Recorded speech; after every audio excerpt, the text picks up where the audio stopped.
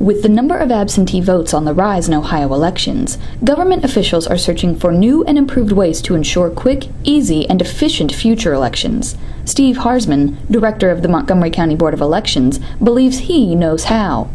If we uh, implement early absentee in person voting coupled with vote centers on election day, I think that is going to be the picture of the future for elections. Centralized voting locations would combine several smaller precinct polling locations into a select group of large, well known establishments within a county.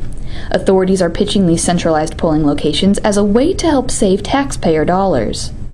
I'm estimating this election to be approximately $180,000 compared to if we would have ran this election in a traditional manner, it would have been approximately 350,000. And in the future, if we will have this type of election, we can actually get this cost down to approximately $75,000. Poll workers for the county's so-called pilot election agree with Harsman in that the long hours and sometimes even longer lines were much less congested and problematic.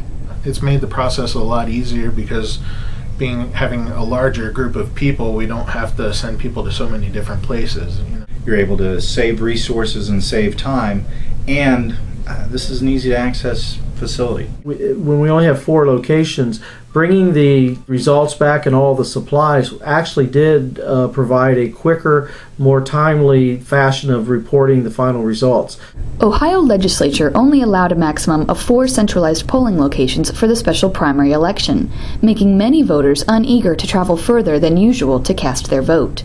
We have had several complaints. Well, I mean, you know, it all depends upon how close someone lives to that. There's been a little bit of grumbling, but in most cases, people are happy to be able to come vote and happy to be able to get to it so easily.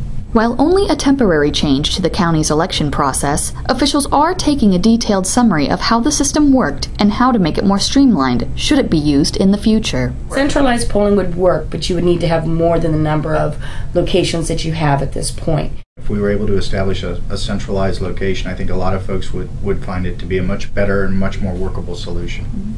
For the larger counties, I think we maybe four is not enough for election day. Maybe we can cut our polling locations in Montgomery County from 178 maybe down to 30 or 40. Overall is a, is a huge success and we're very pleased.